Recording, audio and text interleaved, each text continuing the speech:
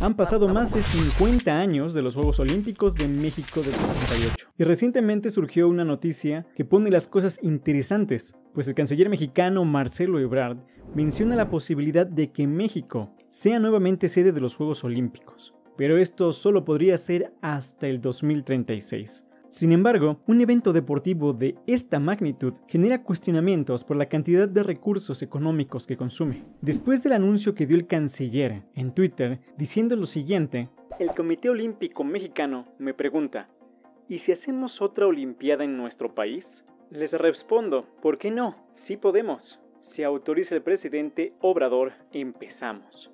No tardaron los cuestionamientos a esta posibilidad, tanto por internautas normales como por periodistas, uno de los cuales fue David Feitelson, pidiendo que se atiendan primero otras situaciones urgentes en el país, y como él, muchos más.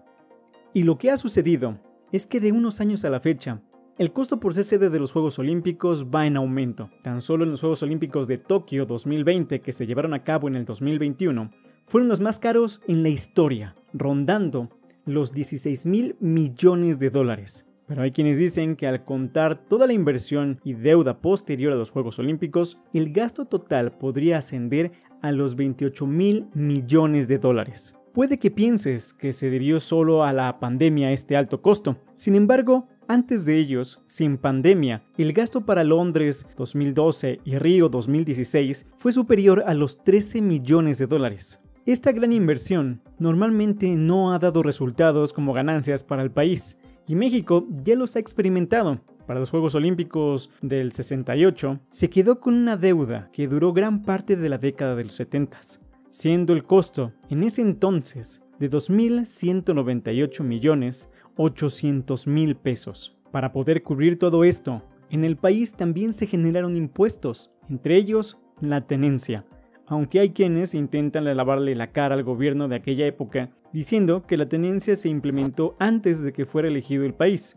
Pero la situación fue que necesitaban demostrar que el país podría con esa carga económica, por lo que su creación, que fue antes, estaba orientada para que pudiera ser aceptada su candidatura.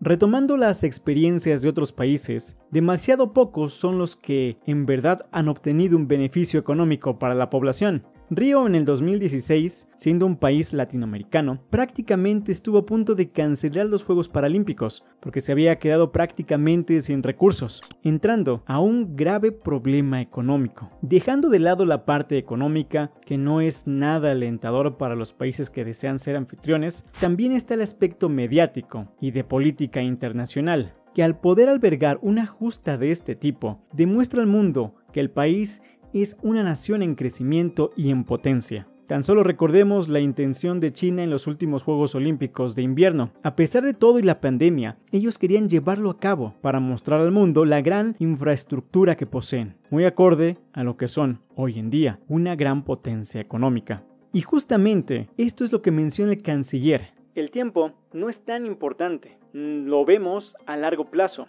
sino que México esté en la escena internacional.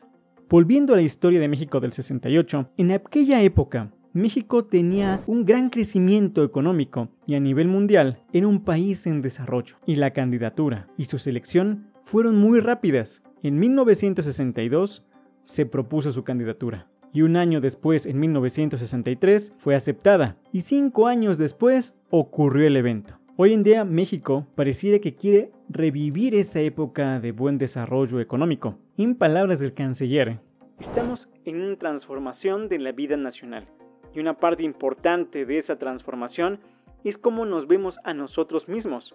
¿Por qué no lo vamos a hacer? Aunque es muy temprano para saber si sería costeable para el país, porque la selección del país para los Juegos Olímpicos del 2036 será hasta el 2029 y aún falta la aprobación del presidente para la propuesta de la candidatura para estos Juegos. Aquí, la política como siempre juega un papel importante, pues con relación al tiempo aún falta bastante, y hay quienes mencionan que esto no es más que nada para posicionar políticamente su candidatura para la presidencia En el 2024. Lo que sí es un hecho es que cualquier país que sea sede terminará poniendo mucho dinero y el Comité Olímpico Internacional nunca perderá prácticamente nada. Y gran cantidad de las ganancias son para ellos. Pero dime tú, ¿qué opinas sobre esto? ¿Crees que sería una buena idea o aún hay cosas más importantes? Te dejo mi punto de vista. Como entrenador y a todos los que nos dedicamos al deporte, nos convendría, pues se le daría un gran impulso a nivel nacional con más infraestructura para practicar algún deporte y seguro a muchos nos iría muy bien. Pero después del evento, regresaría mucho a como está hoy en día. Lugares abandonados o mal administrados, toda la inversión de infraestructura se deterioraría y no se aprovecharía podría ser una opción para darle un impulso a nivel nacional, pero aún hay más temas que atender, incluso dentro del deporte nacional, antes de poder pensar en ser una sede de los Juegos Olímpicos.